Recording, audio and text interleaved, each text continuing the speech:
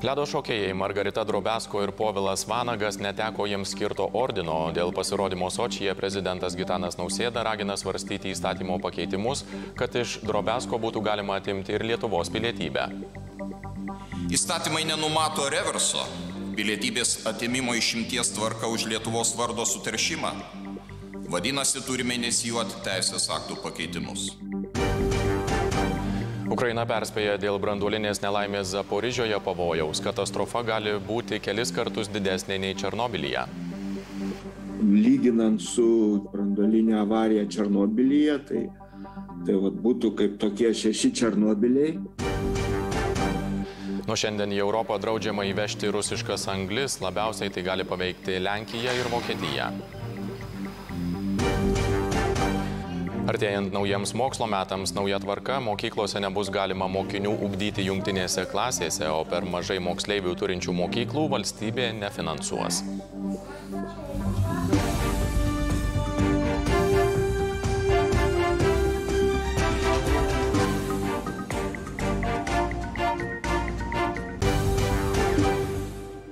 Labas vakaras, aš Ignas Andriukevičius, pradedame panoramą. Gana yra gana. Tokiais žodžiais prezidentas Gitanas Nausėda paskelbė, kad išbraukia ledo šaukėjus Margarita Drobesko ir Povilą Vanagą iš apdovanotojų didžiojo kunigaikščio Gedemino penktojo laipsnio ordinų sąrašo dėl jų pasirodymo Sočyje. Taip pat ragina svarstyti įstatymo pakeitimus, kad iš Drobesko būtų galima atimti ir Lietuvos pilietybę.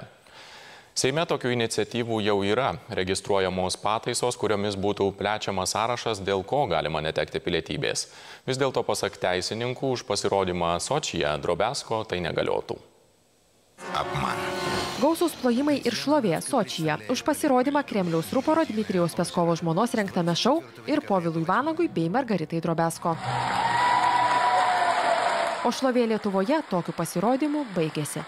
Prezidentas Gitanas Nausėda pasirašė dekretą, kuriuo atėmė iš Drobesko ir Vanago Lietuvos didžiojo kunigaikščio Gedimino penktojo laipsnio ordiną, pažeminus apdovanotųjų vardą. Nuopelnus Lietuvos valstybei, už kuriuos buvo įvertinti dar 2000 metais, jie nutrynė ciniškų poelgių dalyvauti komercinėme renginyje Sočyje tuo metu, kai Ukrainos karo verpetuose liejasi nekaltų žmonių kraujas. 2000-aisiais šokėjus apdovanojęs kadenciją baigęs prezidentas Valdas Adamkus pritarė tokiam nausėdos sprendimui. Esu pritrenktas, negaliu patikėti, kad tiek sportininkai, kurie buvo pasaulinio lygio, kurios, kuriais Lietuva didžiavosi, galėtų pasielgti šiuo metu. Maskvoje gimusi Drobesko 93-aisiais išimties tvarka gavo Lietuvos pilietybę. Dabartinėme kontekste tai atrodo kaip apgailėtinas farsas. Įstatymai nenumato reverso pilietybės atimimo išimties tvarka už Lietuvos vardo suteršimą. Vadinasi, turime inicijuoti teisės aktų pakeitimus. Gana yra gana. Pakeitimai jau inicijuojami. Tokias galimybės mes svarstome dabar su ekspertais, su konstitucinės teisės ekspertais, parengti tam tikras pilietybės įstatymo pataisas. Grupė Seimo narių jau registruoja įstatymo pataisas, kad į sąrašą, už ką galima būtų netekti pilietybės, būtų įtrauktas ir šalies agresorės palaikymas. Pilietybės suteikimas tai yra dovana, kuri ateina kartu ne tik su privilegijom, bet ir su įsipareigojimais. Konstitucinės teisės ekspertė Toma Birmontienė abejoja siūlymu. Plėsti sąrašų, kodėl turėtų būti atimama Lietuvos Respublikos pilietybė, tikrai nereikėtų. Nes tai keltų klausimus ir dėl atitikties konstitucijai ir apskritai demokratiniai valstybei, na kągi, Lietuvos Respublikos piliečiai yra visur. Vis dėlto, pasak teisininko socialdemokrato Juliaus Abatausko, net ir prieimus pataisas už pasirodymą ant sočio ledo, Drobesko Lietuvos pilietybės netekti negalėtų. Jeigu mes pataisysim įstatymą rudenį, už atvejį, kuris įvyko prieš įstatymo prieimimą, dėja negalėsim priimti. Na, nieks negalės pritaikyti jo. Nebent ir ateityje ši, šita ponia nepaisins jokių, kaip sakant, įstatymų pakeitimų ir vis tiek elgsis panašiai. Pilietybės netekti gali tik asmenys, kurie turi dvi ir kurių gimtoji pilietybė nėra Lietuvos. Latvija balandį priėmė pataisas, pagal kurias gali atimti pilietybę iš karą remiančių asmenų. Prezidentas atskirų dekretų iš apdovanotųjų Lietuvos didžiojo kunigaikščio Gedimino ordino komandoro kryžiumi sąrašo išbraukė buvusi KGB darbuotoją, buvusi Rusijos valstybinės geležinkelių bendrovės vadovą artimą Putino sąjungininką Vladimirą Jakuniną. Apdovanojimas Jakuninui buvo įteiktas 2002 metais, esą siekiant skatinti Rusijos ir Lietuvos dialogą. Konstitucinis teismas 2010-aisiais buvo paskelbęs, kad dekretas Jakuninui skirti apdovanojimą prieštarauja Konstitucijai. Po sprogimų Rusijos bazėje Kryme Ukrainos prezidentas sako, kad karas gali baigtis tik išvadavus pusėsalį. Ukrainos oro pajėgos tikina, kad bazė naudota oro smūgiams prieš Ukrainą, o smogimai galėjo sunaikinti devynis lėktuvus. Kyivas kelbė, kad su sprogimais neturi nieko bendra, bet saugumo pareigūnai žiniasklaidai užsimena apie galimą partizanų bei specialiųjų pajėgų operaciją. Atostogos Novofedorivkoje, Rusijos aneksuotame Kryme, baigėsi. Besitraukiantys rusų turistai skaičiuoja sprogimus netoliese esančioje Rusijos bazėje. Sako, prieš išvysdami dūmų stulpą jautė kaip žemė dreba. Ilsėjomės, buvo ramu ir taiku. O tada stipriai driokstelėjo, namas sujudėjo, langai sudužo, šukės krito ant žmonos. Net nesupratau, kas vyksta. Išlipau iš automobilio, nuėjau nusiplauti rankom, o žemė po kojomis ėmė judėti. Atrodo, arba pakilau, arba prasmigau po žemę. Baisu. Rusijos gynybos ministerija kartoja, kad tai netakos padariniai. Esą 12 liudininkų suskaičiuotų sprogimų svarbioje Rusijai oro bazėje sukėlė užsidegusią municiją. Svarstoma, kad pažeistos saugos taisyklės. Ukrainos gynybos ministras juokauja. Manau, Rusijos kariai oro bazėje nesilaikė paprastos visiems žinomos taisyklės - nerūkyti pavojingose vietose. Ukrainos prezidento patarėjas Kyivo atsakomybę neigia. Sako, kad Ukraina su sprogimais nesusijusi. Bet pats Volodymyras Zelenskis pabrėžia, karas turi baigtis Krymo išlaisvinimu. Šis Rusijos karas prieš Ukrainą ir visą laisvą Europą prasidėjo Kryme. Kryme ir turi baigtis jo išvadavimu. Neįmanoma pasakyti, kada tai įvyks, bet nuolatos dedame būtinas pastangas, kad Krymas būtų išlaisvintas звільнення Криму. Bet Ukrainos saugumo pareigūnai žiniasklaidai tikina, kad partizanai arba specialiosios pajėgos galėjo prisidėti prie sprogimų, kaip per pastarąsią savaitę okupuotose regionuose skelbta apie sužeistus ir nužudytus Rusijos paskirtus pareigūnus, o Kyivas pietuose esą ruošia kontrpolimą. Pasipriešinimo partizanai mato viską, skelbia plakatas pagrindinėme pietų fronto mieste Mikolajeve. Vienoje labiausiai Rusijos apšaudomų vietų visą savaitgalį galiojo komendanto valanda, ne tik saugant gyventojus nuo priešo smūgių, bet ir ieškant priešo agentų. Mūsų kaimas okupuotas. Norime grįžti. Noriu, kad būtų išvaduotas ne tik mano kaimas, bet ir visa Ukraina. Ukrainos kariuomeniai paramą žada didinti Danija. Jungsis prie Junktinės karalystės programos, pagal kurią bus apmokyti 10 tūkstančių Ukrainos karių. Per artėjantį mėnesį skirsime 130 karių. Numatėme iki 15 milijonų eurų apmokymams remti. Taip pat pasiūlėme Ukrainai organizuoti pratybas čia, Danijoje. O pasak Britų žvalgybos, Rusijos polimui vadovaujantiems generolams vis sunkiau derinti skirtingus uždavinius, kaip stumtis Donetsko polime ir stiprinti pajėgumus pietuose prieš galimą Ukrainos kontrpuolimą. Juolab, kad susidūrimai vyksta ir šiaurėje. Čia Ukrainos kariai apšaudo Rusijos pozicijas prie Harkivo. Tarnauju oro gynybos pajėgose, bet šiandien turėjome neįprastą užduotį - pulti prieš karius.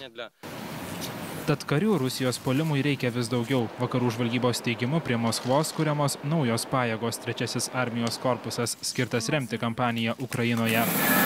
Kad vyrų trūksta, sako ir okupuotoje Luhansko teritorijoje veikiančios anglių kasyklos, nors turą užsienio žurnalistams rengia ir kruopščiai planuoja okupacinė Rusijos paskirta valdžia.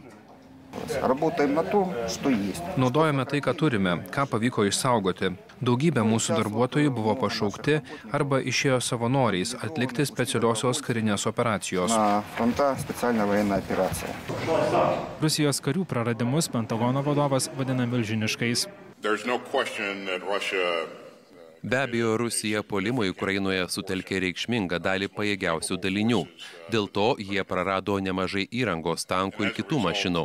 Jie taip pat prarado milžinišką skaičių žmonių nukautų arba sužeistų.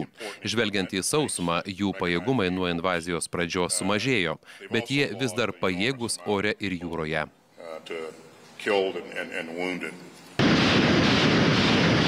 O kad susidūrimai palei frontą plečiasi, rodo ir priešo apšaudymai. Pasak Dnipro gubernatoriaus, užgrobtą Zaporižios elektrinę naudodamos kaip priedanga, Rusijos pajėgos apšaudė kitapus upės esantį Marhanecį, pražudydamos mažiausiai 13 civilių.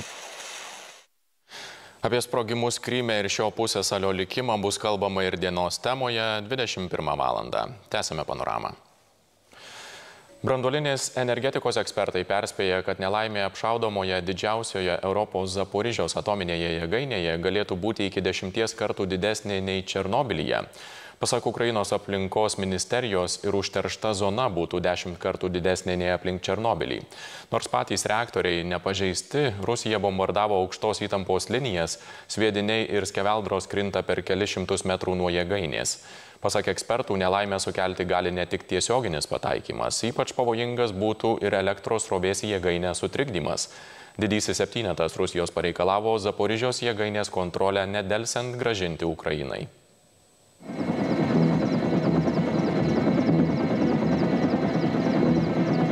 Spinduliuotės nudeginti miškai. Aplink sprogus į Černobilį kaip paaiškėjo vėliau, ir Lietuvą radiacija pasiekė tą pačią dieną. Jau 26 dieną Vilniuje buvo pastebėtos Černobilio radioaktyvios medžiagos, o 29-30 dienomis jodas 131 3-4 kartus viršijo leistinas normas. Keturi Černobilio reaktoriai turėjo 2000 brandolinio kūro kasečių. Ukrainos aplinkos ministerija skaičiuoja, kad ši šešių reaktorių Zaporižios jėgainė kūro kasečių turi iki dešimties kartų daugiau - 18 tūkstančių. Skaičiavimai apie avarijos pasiekmes skiriasi. Lyginant su didžiausia vat, Europoje vykusią brandolinę avariją Černobilyje, tai, tai vat, būtų kaip tokie šeši Černobiliai. Kai Ukrainos aplinkos ministerija skaičiuoja, kad būtų kaip dešimt Černobilių ir užteršta zona gali būti iki dešimties kartų didesnė - 30 tūkstančių kvadratinių kilometrų arba beveik pusė Lietuvos ploto. Nesvarbu, koks reaktoriaus tipas, ar tai būtų vakarietiškas, ar, ar, ar, ar rusiškas, jie nėra pritaikyti karo veiksmams. Apšaudytos jėgainės prieigos. Vaizdus išplatino Rusija, bet abi pusės kaltina viena kitą. Elektrinę okupavo Rusija, bet prie pat laisvos Ukrainos frontas. Nukentėjo elektrinės pagalbiniai įrenginiai ir elektros linijos, kuriomis iš elektrinės teka elektra. Bet nei nereikia tiesiogiai pataikyti į patį reaktorių. Užtenka sugriauti elektros perdavimo linijas ir tai gali išaukti sunkiąją avariją. Ukrainos kaltinimas Rusijai jėgainę ši bando pavogti ir prijungti prie Krymo sistemos, kad atjungtų nuo žemyninės Ukrainos, bombarduoja aukštos įtampos linijas, sugadino jau tris. Zaporižijoje labai pavojinga padėtis, beliko viena linija jungianti ją su Ukrainos elektros sistema. Būtų labai blogai, jei būtų pažeista ir ši. Tuomet dinktų elektra. Jeigu tai įvyksta, galim prisiminti Fukusimos e, brandolinės jėgainės avarija, kuri įvyko būtent dėl to, kad e, žemės drebėjimas sugriovė elektros perdavimo linijas. Papildomai ten dar buvo atsijungę dizeliai generatoriai, kadangi jie buvo užlieti vandenį. Brandolinės jėgainės sauga skiriasi nuo šiluminių elektrinių. Brandolinį kūrą net ir sustabdžius reaktorių vis tiek jį reikia aušinti. Tam naudojama elektra, ateinanti perdavimo linijomis Jei šis srovė nutrūksta, įsijungia avariniai dizeliniai generatoriai. Paskutinis barjeras skiriantis nuo Fukushimos tipo katastrofos, bet sistemos galiojimo laikas ribotas. Priklausomai kokios yra ten to e, dizelinio kūro atsargos tiem generatoriams. Ukrainos energoatom vadovas dėl to ir perspėja Fukushimos tipo nelaimės. Šalies vadovas Rusija kaltina jėgainę užminavus, vadina tai branduoliniu šantažu. Černobilio nelaimė buvo sprogimas viename reaktoriuje. Zaporižė turi šešis. Didžiausias pavojus - kitai Europos daliai nei po Černobilio. Zaporižė daugiau nei pusę tūkstančio kilometrų toliau į pietryčius. Todėl, kad ir e, didesnės avarijos atveju reikšmingo poveikio Lietuvos gyventojams nebūtų. Be Ukrainos šį kartą ko gero labiausiai nukentėtų Rumunija, Bulgarija, pati Rusija. Daugiausia priklausytų nuo vėjo krypties. Energetikos reguliavimo taryba dėl bendrovės Perlas Energija veiksmų vienašališkai keičiant sutarties sąlygas su vartotojais kreipėsi į generalinę prokuratūrą. Prašo inicijuoti viešojo intereso gynimo procesą. Taip pat taikyti laikinasias apsaugos priemonės apribojant bendrovės turtą. Tarybos vertinimu būtina nustatyti, ar Perlas Energija nesiekia sudaryti savo palankios situacijos ir gauti nepagrįstų pajamų, realizuojant turimus finansinius produktus kitą turtą. Penktadienį bendrovė paskelbė fiksuotus tarifus turinčius gyventojus perkelianti į su biržos kaina susijętus planus arba jie gali pereiti pas kitą tiekėją. Perlas Energija turėjo irgi savo portfelyje e, antrinėje, taip vadinama, finansų rinkoje dalį, e, dalį tų instrumentų, kuriais apsidraudė kainų sviravimą Suomijos zonoje Ir kadangi e, tikėtina, kad dalis vartotojų vis tik e, paliks perlas energiją, tai tokiu atveju paprastai kalbant šitie finansiniai instrumentai atsilaisvina ir perlas energija gali laisvai jais disponuoti e, ir juos parduoti rinkoje ir tokiu būdu gauti papildomų pajamų. Tai šitoje vietoje vis tik yra įtarimų, kad ir perlas energija veiksmai, nutraukiant su vartotojais sutartis, galimai Perlas energija siekia galimai uždirbti ir iš kitos veiklos, tai yra būtent finansinių produktų pardavimo veiklos, kas mūsų vertinimu iš tikrųjų būtų tikrai e, nepagristos gautos pajamos bendrovės. Energetikos rinkos reguliuotojui paprašius prokurorų ginti viešąjį interesą, Perlas energija vadovas Vilius Juraitis pareiškė, kad įmonė neturi planų parduoti turto ir patvirtino, jog bendrovė yra finansiškai apsidraudusi keliose užsienio šalyse. Toliau kitos naujienos. Partijų susitarime įtvirtinta nuostata siekiant didinti krašto apsaugą turėtų rastis gynybiniai įtvirtinimai, kurie bent kuriam laikui galėtų apriboti galimą invaziją. Tačiau kariuomenės vadas idėją kritikuoja, esą tai ne tik pasenusi gynybos filosofija, bet ir pinigai būtų išleidžiami ne ten, kur labiausiai reikėtų. Rukloje daugiau nei pusantro tūkstančio sąjungininkų karių tankai kovos mašinos. Tai NATO priešakinių pajėgų batalionas, vienas, kaip teigiama, Lietuvos saugumo garantų. Naujai karių rotacijai vadovaus ir naujas vadas iš Vokietijos. Tas buvimas čia tai įgauna ypatingą prasme, tai tikrai rodo vienybę mūsų e, NATO alijanso. Pajėgos galinčios judėti greitai ir iš vien su Lietuvos kariais.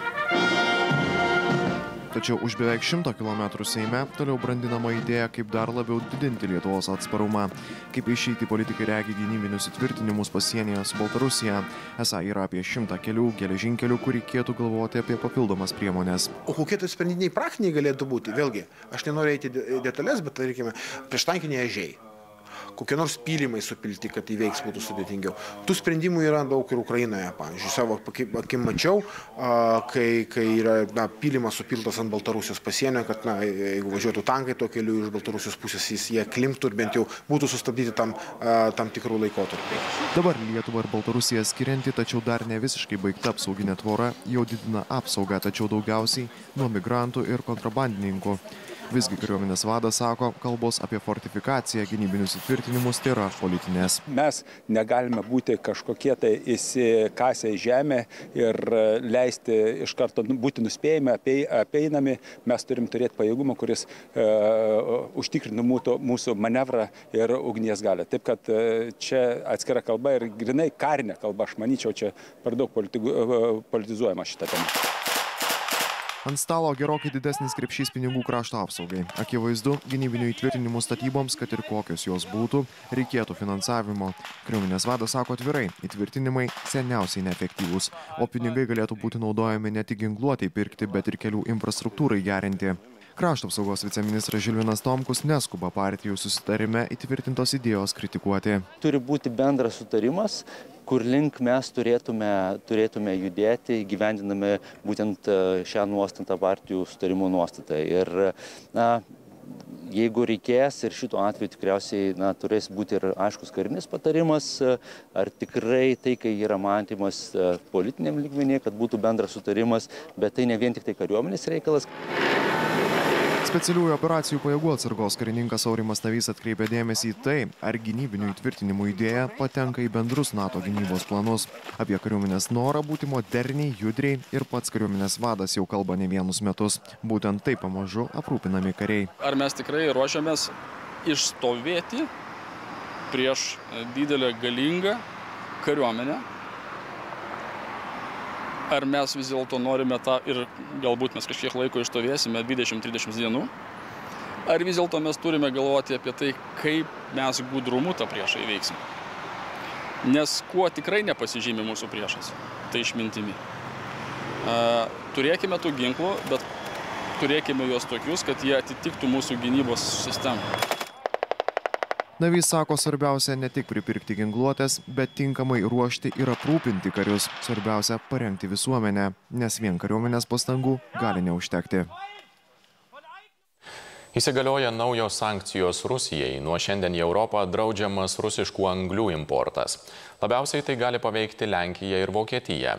Ekspertai ramina, kad Lietuvai tai neturės beveik jokios įtakos, o Europą gelbėja pinganti nafta. Likus kelioms savaitėms iki draudimų įsigaliojimo, anglių kalnai Vokietijos uostuose. Paskutinės minutės bandymai kaupti atsargas. Prieš karą anglis gabeno viena iš dešimties baržų, o dabar viena iš penkių. Vokietija iš Rusijos importuoja apie 40 procentų reikalingos anglies, panašiai tiek visa Europos Sąjunga. Tačiau taupant dujas, anglių poreikis auga. Ekonomistai ramina, dėl artėjančios recesijos pinga kita alternatyva - nafta. Europos Sąjunga tikėtina trumpo laikotarpiu, tai yra rudenį ir žiemą didinti savo priklausomybę nuo šildymo ir, tarkime, elektros gamybos naudojant naftos išteklius, kurie labai sparčiai pinga.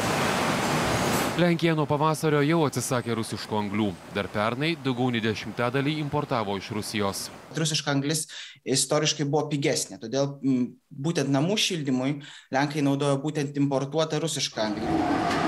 Lenkijos valdžia ramina, kad anglių galima atsivežti iš kitur. Ekspertai sako, kad nėra taip paprasta. Tam nepasiruošia ir Lenkijos uostai. Situacija tokia, kad anglių rezervai yra mažiausia nuo antrojo pasaulinio karo. Ir didžiausia problema gyventojams, nes jie neturi kuo jos pakeisti. Be to ir kainos pasaulinėje rinkoje išaugo daugiau nei dvigubai. Ekspertai tiek ir patys pardavėjai pastebi, kad, kad priekybos vietose tos anglies trūksta. Tad anglį šildymui naudojantiems Lenkams valdžia išmokės po 700 eurų. Dėl kovos su klimato kaita mažinus anglių gavybą, dabar iššūkis, kaip ją padidinti. Buvo neinvestuojama į anglės kasybą. Ir dabar šiuo metu, žinoma, priimami sprendimai ganėtinai skuboti, kad būtų galima investuoti daugiau ir kad Lenkija pati išgautų daugiau tos anglės. Rusiškos anglys dominavo ir Lietuvoje, tačiau Lietuvoje akmens anglis apskritai nėra populiari anglis ir anglies kaina, anglies pasiūla, anglies paklausa Lietuvos energetikos sistemai labai didelis įtakos tikrai neturės. Vienas didžiausių anglies naudotojų akmenės cementas. Įmonė situacijos nekomentavo. O ekonomistai sako, kad sankcijos labiau paveiks Rusiją. Praradusi Europos rinką, jei anglis teks pusvelčiai pardavinėti Azijoje. Ir tai dar ne pabaiga. Panaši situacija laukia Rusijos ir šiuo metu gruodžio mėnesį, kai įsigalios europinis draudimas importuoti rusišką naftą. Tiesa, į Kaliningradą per Lietuvą anglys galės būti vežamos, bet negalės viršyti pastarųjų trijų metų vidurkio. Įsigaliojus sankcijoms, Rusija jau išnaudojo geležies, plieno, medienos gaminių, trašų limitus. Jei tranzitas triks, Rusija vėl pagrasino atsakomosiomis priemonėmis. Latvijoje lankosi Junktinių valstijų gynybos sekretorius. Lloydas Ostinas Rygoje susitiko su Latvijos prezidentu, ministru pirmininku ir krašto apsaugos ministru. NATO sąjungininkams sutarus didinti pajėgų pasirengimą ir stiprinti alijanso rytinį flangą. Pentagono vadovas pabrėžė, kad Junktinių valstijų pratybos su Baltijos šalių sąjungininkais intensyvės, o alijanso bei partnerių parama Ukrainai kritiškai svarbi. Ir toliau kartu su jumis bei NATO sąjungininkais ir partneriais visame pasaulyje dirbsime remdami ukrainiečių bei mūsų NATO sąjungininkus, kad Ukraina galėtų atsilaikyti prieš žiaurę Rusijos agresiją. Tarptautinė parama Ukrainos kariniams pajėgumams lėmė didelį skirtumą mūšio lauke. Remti ją kritiškai svarbu. Be to, kai prezidentas Bidenas paskelbė NATO viršūnių susitikime, sustiprinsime rotacinių pagrindų regione dislokuojamas pajėgas. Taip pat intensyves pratybos su Baltijos šalių šalių sąjungininkais, kad mūsų kovinė pozicija regione būtų sustiprinta.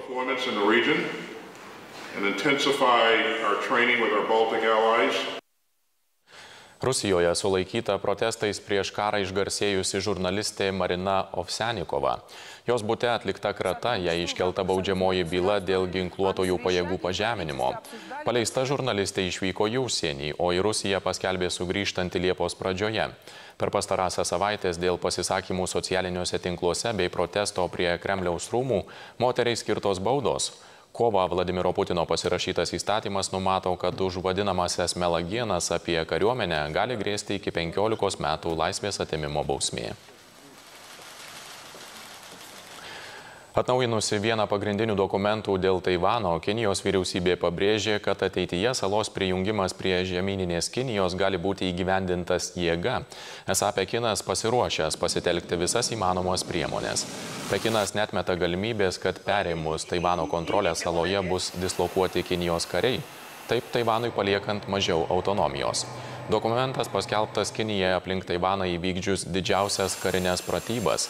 Kinijos kariuomenė skelbia ir toliau reguliariai patruliuosianti aplink Taivaną.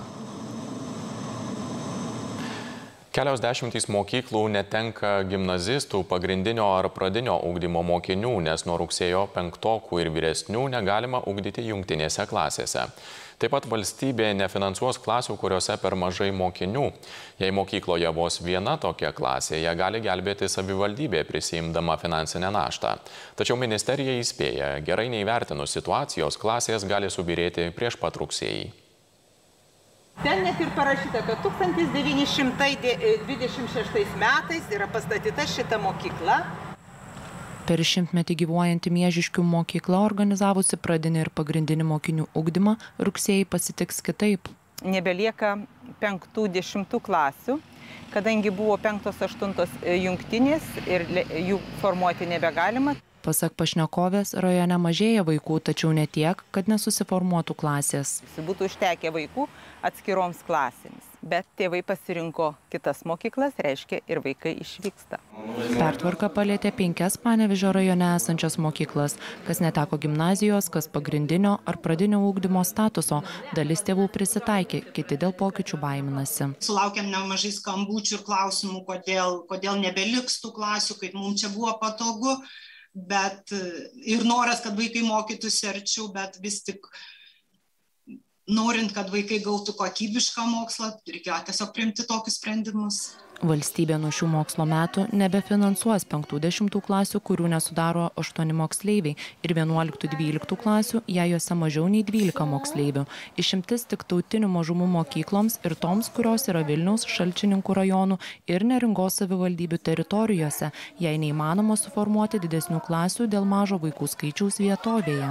Tiesa, mažesnės klasės gali būti įsaugotos ir kitur, jei savivaldybė nusprendžia jas finansuoti. Vilniaus rajonas sako, bent šiais metais metais taip ir darys su visomis mokyklomis. Kai kur tiesiog ne, labai nedaug jų trūksta, pavyzdžiui, septyni mokiniai vietoje aštuonių ir, ir tai tikrai nesudaro kažkokios tai problemos. Yra žinoma klasių, kur yra mažiau, bet e, ten sprendimai bus priimami tikrai tikrai dar ne šiemet. Nėra galimybės finansuoti dviejų, trijų klasių, galima finansuoti tik vieną klasę. Savivaldybė turėjo laiko galvoti apie tam tikrus sprendimus, tarkim, mokyklų sujungimą. Net ir dabar suformuotos pagrindinio ūkdymo klasės mažose mokyklose, pasak ministerijos, nebūtinai tokios išliks. Jei moksleiviai persigalvos, jos subirėti gali prieš pat rugsėjį. Jeigu savivaldybė ir mokykla planuoja, kad mokinių skaičius yra ties riba. Tai jos turi įsivertinti rizikas. Jos turi komunikuoti su tėvais kad gali būti įvairios situacijos. Tai jeigu klasė susidaro jie mokosi jeigu ne jeigu mažesnė tai tada reikia reikia žiūrėti kad vaikai būtų pavežėjami į artimiausią mokyklą. Švietimo ekspertės teigiamų pertvarkos visada sukelia audrų, bet jos Lietuvoje būtinos. Savaime mažumas nėra blogai. Pasirinkimo tada vaikam galimybės gerokai sumažinamos ir mokytojų darbo krūvis. Mokytojai nesirenka arba tie aktyvesni, jaunesni dirbti tose mokyklose ir tuo pačiu tai nukenčia ir, ir ugdymo kokybė. Pernai jungtinėse klasėse mokėsi keli tūkstančiai vaikų. Nuo rugsėjo gali būti jungiamos tik dvi pradinio ugdymo klasės ir rekomenduojama gretimos. Savivaldybės privalės užtikrinti sklandžius pokyčius ir mokinių pavėžėjimą į ugdymo įstaigas ir iš jų. Toliau panoramoje dienos tema, o po jos laidoje dar matysite. Kaune prasidėjo tarptautinis kaulinio porceliano simpozijumas. Klaipėdoje galima susipažinti su retai Lietuvoje parodos rengiančios menininkės Ruo Edelstein darbais. Menininkė pristato stiklo monotipijas ant satino. Ukrainietiškų imtynių pasaulio čempionatas iš Ukrainos perkeltas į Lietuvą.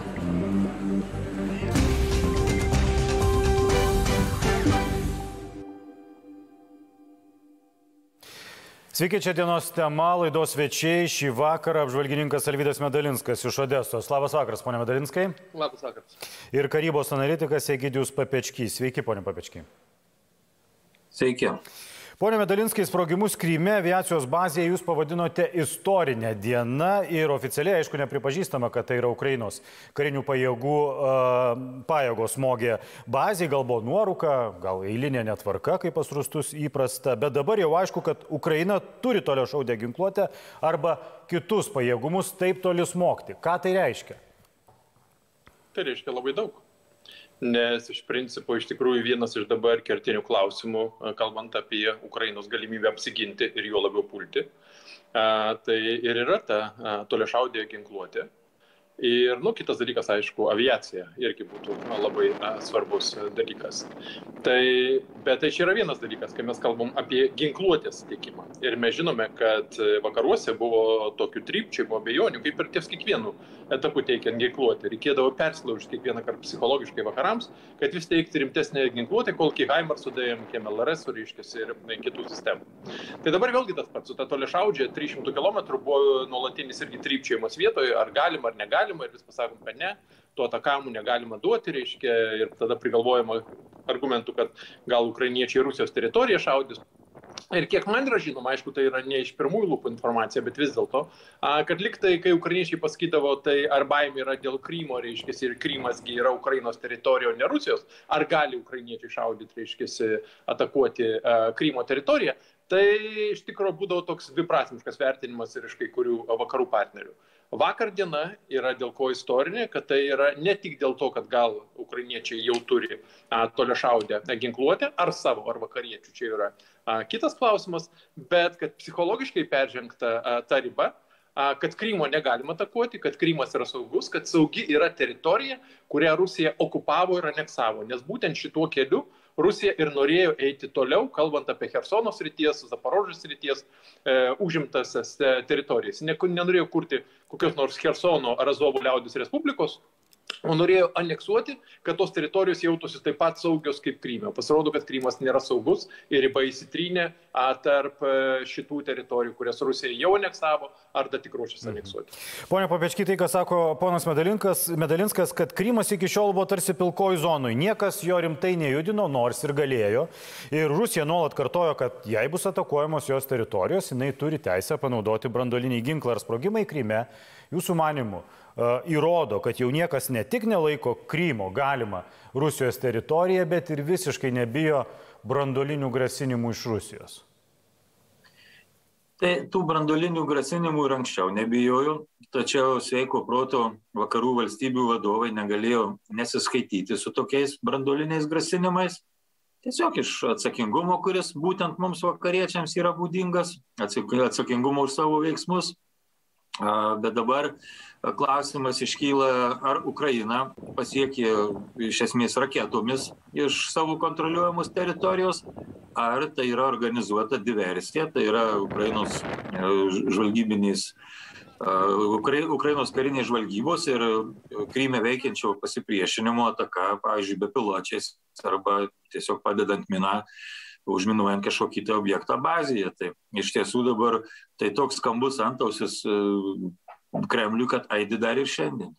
Ukrainos prezidento patarėjas Mikhailo Podoliakas po sprogimų iškart pareiškė, kad tai tik pradžia. Pone Medalinskai, ko pradžia? Pradžia yra to, kad Ukraina pasirengusi naikinti Rusijos kariuomenės ir jos logistiką daug giliau negu leidžia dabartinė turima karinė technika, reiškia, ginkluotė, kurią Ukraina turėjo, tai patys Gaibarsai, kurių yra iki šimto, reiškia, kilometrų atstumas. Bet vėlgi sakau, tai yra ta pradžia, aš pacituočiau kitus dar žodžius, prezidento Zelenskio žodžius, kuris pasakė, Krymų prasidėjo visa šita Rusijos karas ar okupacija, reiškia, prieš Ukrainą, Kryme turi ir pasibaigti. Ir štai čia yra labai svarbus dalykas, nes kai prieš metus buvo organizuota Krymo platforma, tuo metu dar iki vasario 24 dienos buvo beveik apie pusę metų, tai kai buvo organizuota platforma, taip vakarų šalis palaikė Ukraina, kad taip, Krymas yra Ukrainos teritorija, panašiai, bet tai buvo labiau solidarumo žestas negu absoliutus tikėjimas, kad Ukraina gali atsimti šitą teritoriją, juo labiau gali atsirasti atsimti karinį jėgą. Štai dabar vėlgi yra laukiama tos Krymo platformos dar vieno sustikimo ir aš manau, kad dabar jisai praeis jau visiškai kitokioje šviesoje ir kitam politiniam kontekste, negu jisai būtų praėjęs, jeigu šito smūgio vakar dienos nebūtų. Pone Papečkiai, jūsų manimo, ar gali dabar ukrainiečiai, pavyzdžiui, imtis Krymo tilto ar kitų taikinių Krymo pusės salyje? Aš manau, kad politinės valios jiems užtenka. Iki šiol jie netakavo Krymo, nes iš esmės netakavo Rusijos. Ukrainiečiai gynėsi savo teritorijoje ir tos atakos labiau buvo Brianskė, Kurskė, prieš kūro saugyklas tokios bandomosios. Kryme tarsi ir buvo netakuojama. Dabar, dabar mes matėm, kad buvo ataka prieš karinio jūrų laivyno, juodosios jūros laivyno štabą Savastopolyje. Iš pradžių ta ataka atrodė, kad galbūt suorganizuota pačių rusų, tačiau kadangi jo po to nebuvo išvystyta jokia propagandinė kompanija, nebuvo imtas jokių veiksmų tai tapo akivaizdu, kad tai taip pat yra ukrainiečių žvalgybos ir pasipriešinimo diversija. Dabar atakuotas, tikrai atakuota didelė aviacijos bazė, padaryti skaudus nuostoliai. Dabar ukrainiečiams jau nėra ko sustoti. Iš tiesų, šiuo metu jie gali atakuoti bet kokius kitus taikinius tiek Kryme, tiek pačios Rusijos teritorijų. Nes priminsiu, kad Krymas yra okupuota Ukrainos dalis. Tai lygiai taip pat gali būti atakuojami taikiniai ir Rusijos gilumoje. Pone Vidalinskai, ką mes tik matėm Rusijos poilsiautojus, kurie iki šiol Krymą laikė saugia teritorija ir ten poilsiavo. Ir dabar aišku, kad atostogų uh, sezonas Kryme šiemet jau tikrai baigtas, tada kila klausimas, kokių veiksmų imsis dabar Rusija, ką matysim iš šios pusės. Aš manau, kad Putinas yra įsiutęs, bet vėlgi pažiūrėkime iš tikrųjų, koksai objektas buvo atakuotas. Karinių objektų Kryme yra ne vienas bet tikriausiai paplūdimio zonoje, šalia paplūdimio zonos, yra nedaug. Tai šia prasme pažiūrėkime dabar šitos video kadrus, kuriuos mes matome ir kuriuos dabar suvokime, kaip jos gali įvesti, įvertinti rusų eilinis pilietis kuris laikė, kad Rusija yra super galinga, kad, Rusija yra, kad Krymas yra jų ir kad čia viskas yra gerai, o Putinas yra didis. Iš principo buvo smogtas smūgis Putinui. Čia nebuvo smūgio vien tik tai vienam iš karinių aerodromų Kryme. Buvo smogtas smūgis Putinui. Ir akivaizdu, kad Putinas gali atsakyti, kaip aš nenorėčiau, ta prasme, daug svarstyti. Aš tikrųjų galvojau, kad galbūt naktį į tą patį Odesos regioną gali pasipilti raketų, reiškia, spiečius, bet vėlgi reikia turėti omeny, kad Ukraina per tą laiką išmoko daugelį tų raketų numušti, kaip kad Hamasas atakuoja Izraelį ar Hezbollah reiškia, o Izraelis nu, išmoko numušinėti tas, nu aišku, dar geležinis skliautą turi, Ukraina to geležinio skliauto neturi. Bet kokie dar galimi veiksmai? Vėlgi klausimas kiek putinas turi karinės galios atsakyti į visus šituos dalykus. Ar jisai gali kažkuo atsakyti Hersone, kur vis dėlto yra permesta tiek karinės jėgos, yra kalbam, kad yra 110, reiškia, batalionų grupių, reiškia, tai yra tikrai pakankamai nemažas skaičius. Ar tai yra Donbase, ar tai, reiškia, ties Mikolaivu, ar Krymo ir Rogų kryptimi, ar Nikopolio Zaporožės. Tai iš tikrųjų matysime tą dalyką. Bet pats rimčiausias dalykas yra tai, kad smūgis yra jau suduotas. Ir jis yra labai rimtas. Ir šit, po šito smūgio gali net ir Rusijos piliečiai pradėti galvoti, kad caras yra nuogas. Pone Papečkiai, jūsų manimų, kokiu atsakomųjų veiksmų gali imtis Putinas? Nelabai Rusija turi ko imtis. Rusija patyrė panašią nesėkmę Sirijoje, kada buvo pažeista daug jos lėktuvų. Tai pir, jau pirmi veiksmai, kurių Rusija ėmėsi, tai staiga pagavo, neva pagavo du diversantus ukrainiečių, kurie prieš tai vykdė e, išpolius prieš kolaborantus ir Rusijos valdžios atstovus okupuotose teritorijose. Tai ir toliau bus represijos prieš vietinius gyventojus, nes be jų pagalbos negali vykti jokia nei raketų ataka, nei diversinis išpolis okupuotose teritorijose. Antra, apšaudys miestus, bet kad jau jie intensyviau tuos miestus apšaudyti nepajėgia. Tai be abejo, tokia keršto akcija turėtų būti, galėtų būti nukreipta prieš Kijevą, nes Kijevas kurį laiką nėra apšaudomas, bent jau intensyviau nėra apšaudomas. Tai, tai aš manau, kad vis dėlto anksčiau ar vėliau bus surinkta kažkokia tai kaž... ataka raketų, ataka prieš, prieš Kijevą. Tik vargu ar Rusija pajėgi surenkti iš tiesų masinę, jau tokią, tokią ataką, kokias mes matėme iš vakarų pusės. Taip. Čia, tiesiog Kremlius už tai ir stengiasi parodyti, kad nieko nenutiko. Čia ne ukrainiečiai, nieko nenutiko, kadangi neturi priemonių įvykdyti kažkokią tai žiaurę keršto akciją, kurią galėtų pristatyti savo tai rusofašistiniai visuomeniai. Taip, ponia Medalinskai, dar grįžkim trumpai prie jūsų anksčiau užsakytos minties dėl Rusijos visuomenės. Ar jūs tikrai tikite, kad šie sprogimai, kurių vaizdus matėm, matėm panikuojančius polisiautojus, kurie stengiasi per Krymo tiltą palikti pusę salį, iš ties turės didesnę galę Rusijos visuomeniai? Turės labai didelę galę Rusijos visuomeniai. Klausimas tik, e, kuria kryptim tas bus nukrypta, dėl to aš tikrai nesu šalininkas a, visiškai izoliuoto požiūrio į Rusijos visuomenę, nors aš suprantu, kad ta visuomenė dėja rusofašistiniam idėjom persėmus e, nemaža dalis jos. A, panašiai kaip Vokietijos a, visuomenė buvo a, prieš antrą pasaulinį karą ir antrą pasaulinio karo pradžioje.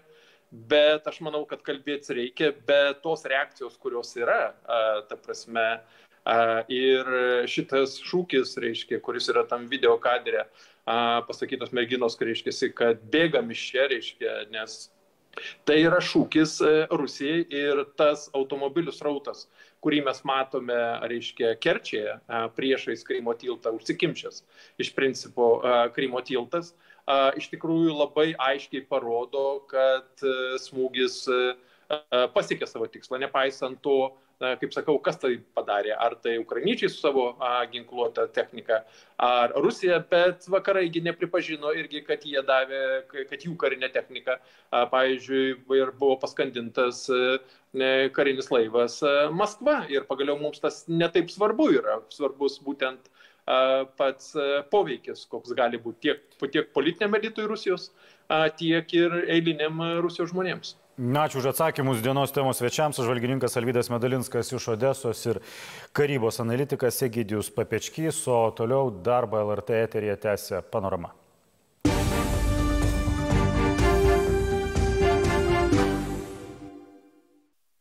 Vilniaus dailės akademijos Kauno fakultete 21-asis tarptautinis kaulinio porceliano simpozijumas. Jo tema šįmet - porceliano miestas, taip prisimenant Kaune pradėtą kurti kaulinio porceliano tradiciją. Organizatoriai sako, kas kart sulaukiantys daugybės norinčiųjų dalyvauti paraiškų, nes toks kaulinio porceliano simpozijumas be ne vienintelis Europoje kai pasiekė temperatūra. Keramikė Jurgita Jasinskaitė traukė 1280 laipsnių temperatūroje buvusius dirbinius. Sako, porcelianas įnaringa medžiaga, iš jo kurinti retai, dažniau naudoja detalėms gaminti. Čia yra pirmiausia skista masė, tai visai kitas, visiškai kitas procesas, viską reikia turėti modelį, formą, liejimas, to prasme kitaip visiškai. o pati medžiaga yra tiesiog kitokia jos sudėtis ir jinai gali deformuotis labiau krosnyje. Devini simpozijume dalyvaujantys menininkai iš porceliano kuria retai, jie ir skirtingų disciplinų. Yra architektų, juvelyrų, Sabrina Basten iš Vokietijos kuria instaliacijas, kuriams naudoja skulptūrą ir piešimą, renka ir perdirba senus porcelianinius gaminius. Senesni gaminiai turi savo istoriją ir buvo saugomi šeimose, keliavo iš kartos kartai. Atsimenu mano senelį, kai atvykdavome švesti, pavyzdžiui, kalėdų, padėdavo geriausią porcelianą, ypatingoms akimirkoms. Būdavo susirenkame susirenkame visa šeima, pasakojame anegdotus, šeimoje nutikusias istorijas. Ir šie gaminiai iš porceliano man primena tuos laikus. Pasak simpozijumo organizatorių vieniems dalyviams kaulinis porcelianas trapi ir plona medžiaga, kiti iš jo kuria pilna vidurės skulptūras. Kas antrus metus rengiamo simpozijumo tema - porceliano miestas. Paraišką dalyvauti šiame simpozijume teikiau kelis kartus, nes žinau, kad čia susirinka stiprus menininkai. Tai unikali galimybė kurti iš porceliano. Daug keliauju, dalyvauju įvairiuose simpozijumuose, bet porceliano simpozijumo žinau tik šį, vienintelį. Organizatoriai sako, norėjusių dalyvauti keturis kartus daugiau nei galėta priimti. Kaune simpozijumai pradėti organizuoti 1990-aisiais buvusioje dailiosios keramikos gamykloje Jėse. Joje sovietmečių kurtas eksperimentinis kaulinio porceliano gamybos baras. Bankrutavus Jėsiai Vilniaus dailės akademijos Kauno fakultetas nusprendė tęsti simpozijumo tradiciją. Šįmet jis 21.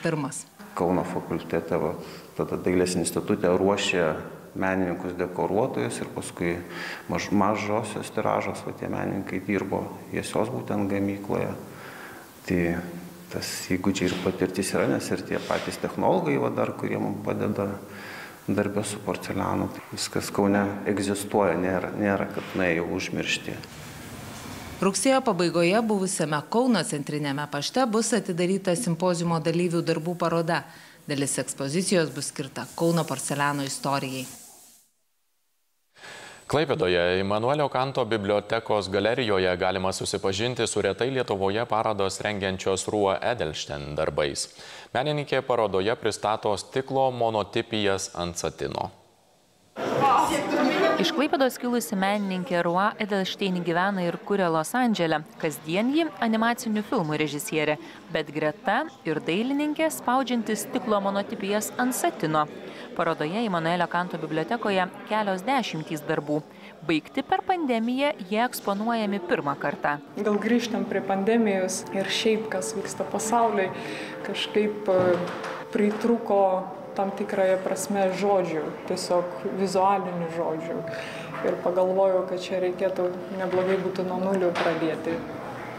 Ir, bet čia labai gera žinia, čia, čia neliūdna. nuo nulio smagu pradėti. Klaipėdoje gimusi menininkė čia baigė dailės mokyklą, vėliau išvyko į Didžiąją Britaniją studijuoti režisūros animacijos. Dėsto Kalifornijos menų institute.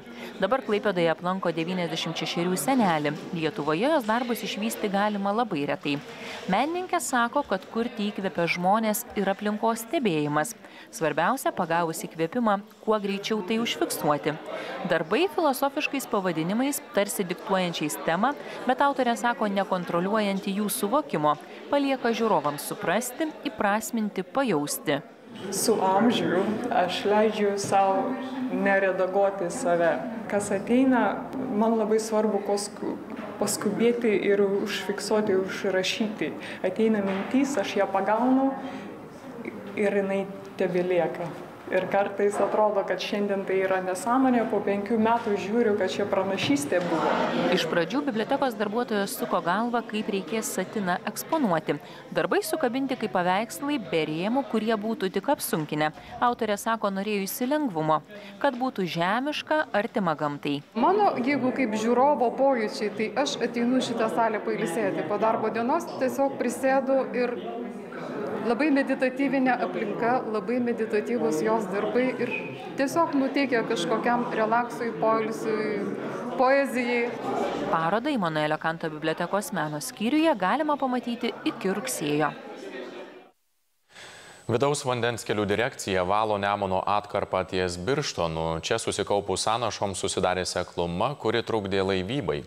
Tikimasi, kad baigus darbus į kurortą atplauks daugiau svečių. Keturis dešimtmečius kapitonu dirbantis Vytautas Bendaravičius dabar turistus plukdo Birštono apylinkėse, taip pat iki Prienų ir atgal. Sako, apylinkės vaizdingos, tačiau ruožas nuo Prienų iki Birštono labai sunkus, vaga užnešta. Šiame ruože link Kauno tai nor normalu, bet nuo Birštono link Prienų labai seklu. Šiemet, kai vandens lygis aukštas, tai dar, dar praplaukėm iki Prienų, bet jei nukristų, tai neaišku, kaip būtų. Dabar vidaus vandens kelių direkcijos technika dirba ties Birštonu. Ji valo čia esančią seklumą, kuri kėlė pavojų laivų eismui. Be to, jie negalėjo priplaukti prie stacionarios prieplaukos. Pasak specialistų Nemono aukštupyje, tokių darbų iki šiol nebuvo. Turim susidėję tokius kaip ir planą, kaip mes galėtume sujungti Nemono aukštupį visą, kad jis būtų laivuojamas, nes šiai dienai laivuojama tik nuo Kauno iki Birštono ir druskininkuose nuo druskininkų į Liškėvos. Taip kad didelis ruožas apie 150 su virš kilometrų yra laivybai kol kas nepritaikyta. Sanašinis gruntas, jo iškasti planuojama apie 60 tūkstančių kubinių metrų, pilamas į kitą krantą. Aplinkosaugininkai darbus leido tik seklumoje baigus perėti paukščiams ten, kur kasa, kur tas miškelis grubiai tenais norėtųsi arčiau centro, pavadinkim, papulti su savo, su savo didesniu laivu. Verslininkai vilėsi, kad baigus darbus laivus galės laikyti patogesnėje vietoje ir skaičiuoja, kad čia jų, ypač elektra varomų, daugės kelis kartus. Labiau jam reikalinga infrastruktūra krante. Tai yra privažiavimas, tai yra elektra, tai yra fekalijų ir kūro atvežimo vietos. Tai šiai dienai Birštonas tokias vietas turi, vienojam ar kitam krante, bet jas reikėtų plėsti ir didinti. Lygiai tas pats prienam. Jeigu tu nori matyti laivybą, tu turi pradėti nuo kranto. Birštono merė tikisi, kad baigus valyti Nemuną į kurortą atplauks daugiau svečių. Galėtų plėstis tą laivininkystę ir, ir atplaukti į Birštoną didesni laivai, pagaliau atplaukti jachtos, kurios irgi labai puošia kurortą ir a, tų prieplaukų tikrai turim nemažai. Apie kilometro ilgio seklumą planuojama išvalyti iki spalio. Portale LRT LT skaitykite pajūrio gelbėtojų mintis. Jie ko ne kasdien gelbsti skęstančiųjų gyvybės ir sako, kad ši vasara jiems kaip niekada įtempta, o žmonės pajūryje pernelyg atsipalaidavę, neretai nesirūpinantys ne tik savo, bet ir vaikų saugumu. Toliau panoramoje sporto naujienos ir gintarė Grikštaitė. Gero vakaro.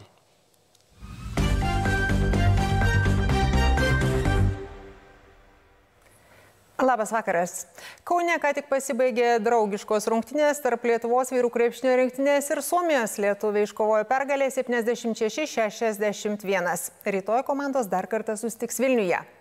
Atsakomosiose rungtynėse Vilniaus Žalgiris garbingai pasipriešino Budės Glimt klubui, bet kelionė čempionų lygos atrankos turnyrė